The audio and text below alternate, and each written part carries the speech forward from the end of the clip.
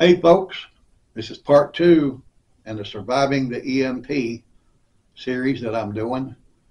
The first one was Thursday night on a live stream. If you haven't seen that, go check it out. It's got some great ideas on it. But hang on, I got some more for you right now.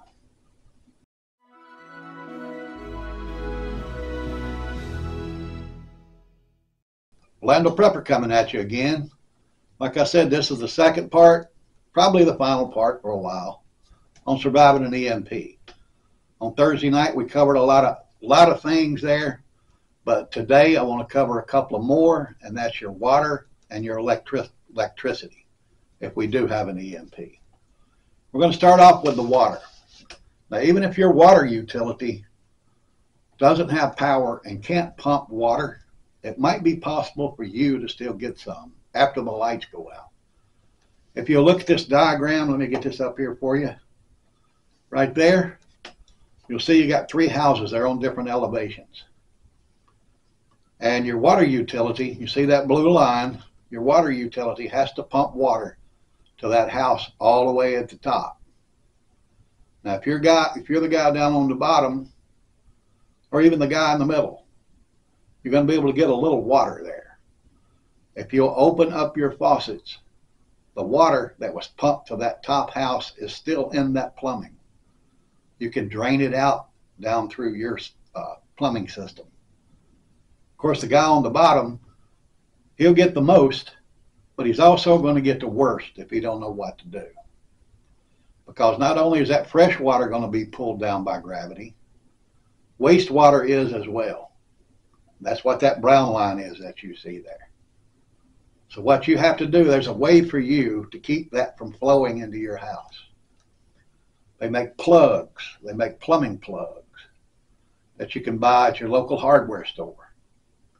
You can, uh, you'll have to disconnect your sinks uh, and where it drains out in through your wall, you put one of these plugs in that pipe and you tighten it up. You'll have to do the same thing with your toilets. You have to take them off the floor, get a plug, and put that plug down in that floor drain.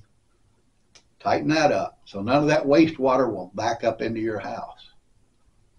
So you have the benefit of maybe getting a little fresh water there, filling up your tub, uh, filling up containers or whatever, but you also have the danger of having that wastewater build up in your house. So make sure you get these plugs, keep them on hand, just in case the lights go out, guys.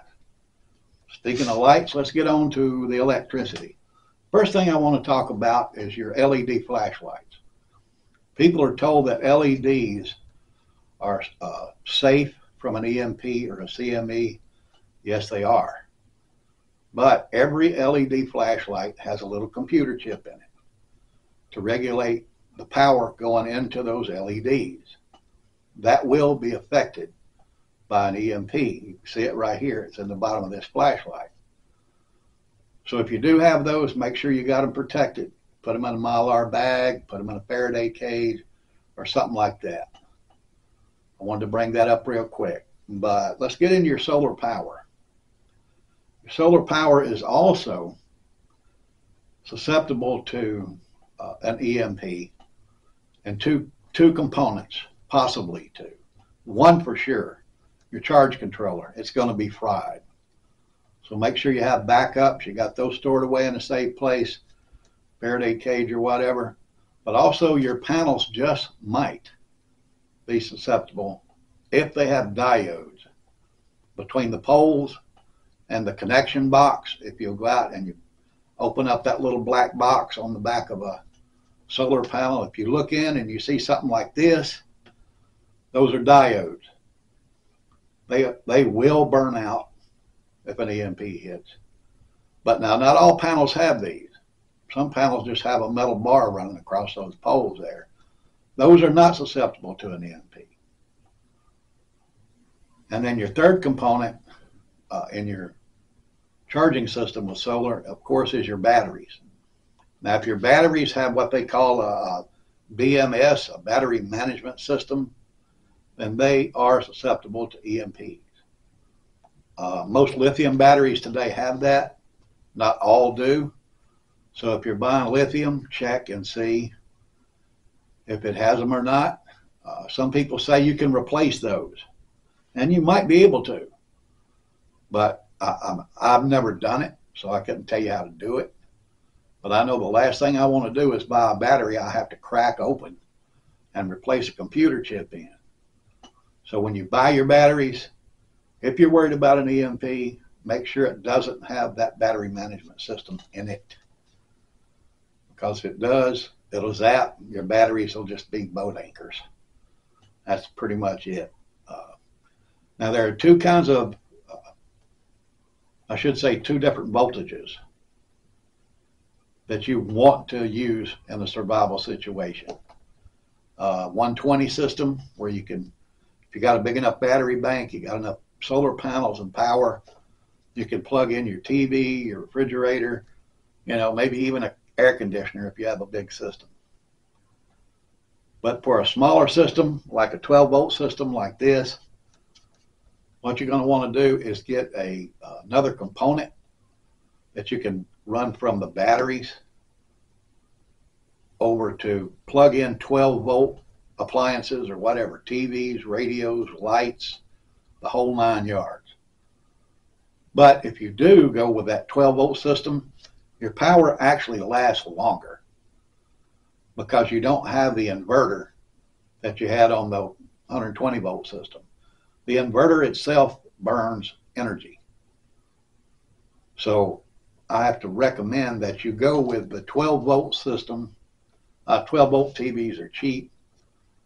Course, lights, 12 volt lights are everywhere. Uh, your radios, of course, your 12 volt radios, they're pretty much everywhere and they're inexpensive. So none of these things that you would need for that system are hard to get. Plus, like I said, remember, your power lasts longer when you're just using a 12 volt system. But I did a little research when I was putting all this together. I wanted, I tried to find a portable solar generator that was EMP proof as you buy it, just like you buy it in the case. One that's EMP proof. I reached out to uh, Jackery and a couple of other suppliers of these things. Jackery was the only one that responded to me. And as you can see here in this email that I got back, their system, their uh, charger, charger, their solar generators, there it is, and their panels are susceptible to an EMP. So they're not safe. You'll have to store them away in a safe place that's also protected. Uh, but that's up to you. They make blankets. If you got a big system, they make blankets, or you can build you a big Faraday box to put it in. But I wanted to bring you those tips, guys. Hopefully, it'll help you out. Like I said the other night, we're on the verge of war. And the only way anybody can do any serious damage to this country is with an EMP. Because geographically, it's almost impossible to get uh, a formidable force over here by air or by sea without it being detected. But an EMP, bang. You guys know how it works. So with that, I'm going to say stay strong, keep prepping, and pray for the United States. The Orlando Prepper is out.